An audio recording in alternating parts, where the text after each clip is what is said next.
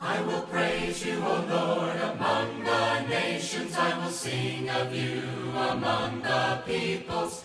Back in February of this year, Jesus Rodriguez and Kevin Hubby went to Coronado, Costa Rica. They visited several congregations and took the message to those who would hear it. During their trip, they had 10 Bible studies. Through God's wonderful hand, one was baptized during this campaign, but several more were baptized even afterward. We'd also gotten a report of two more souls just saved last Sunday.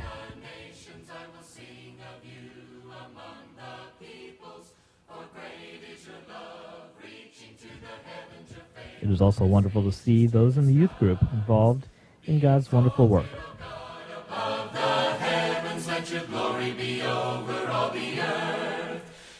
Exalted, O God, above the heavens, let your glory be over all.